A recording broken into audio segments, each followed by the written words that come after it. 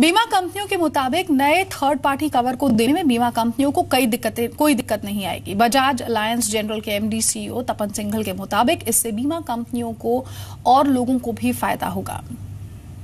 जिस तरह से सर, जो मोटर इंश्योरेंस है, वो बाकी इंश्योरेंस कंपनियों का भी और आपकी कंपनी का भी एक बड़ा पोर्टफोलियो है और एक सुप्रीम कोर्ट का जो जजमेंट आया है, उसके बाद एक सितंबर से आपको तीन साल का लंबी अवधि का बीमा और पाँच साल का बीमा देना पड़ेगा गाड़ियों के लिए, जो नई गाड़ियाँ बिकेगी तो उसके लिए कितने तैयार हैं आप और किस तरह की प्रिपरेशन हो गई है? आई डोंट थिंक कि उसमें ज़्यादा टेंशन होगा। प्राइसिंग में शुरू में दिक्कत होगा समझने की कैसा प्राइसिंग हुआ, क्योंकि कंपनियों की आदत है एक एक साल की प्रोडक्ट की।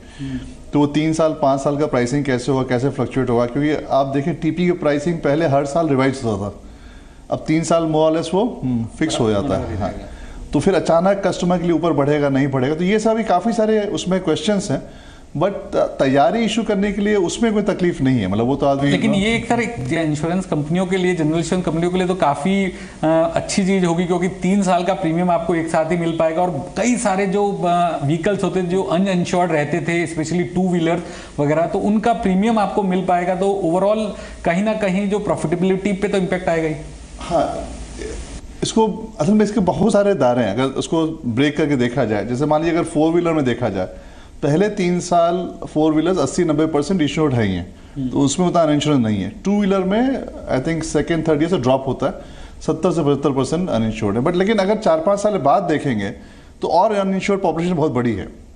दूसरा इशू ये है कि अगर हम देखें आज की डेट में डेटा जो इंश्योरेंस कंपनी है वो आईआईबी जो आई स्पॉन्सर इंस्टीट्यूट है वहाँ जमा करती हैं।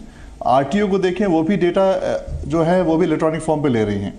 तो अगर एक सिंपल चीज़ करें आरटीओ का डेटा और इंश्योरेंस का जो डेटा है, हर कंपनियाँ जमा करें, आए भी, वो मैच करें तो जो अन इंश्योर्ड व्हीकल ऐसे ही पूरी पता चल जाएँगी। तीन या पाँच साल लग गए पूरे जितना साल से गाड़ियाँ चल रही हैं अनइंश्योर्ड पूरा डिटेल मिल जाएगा।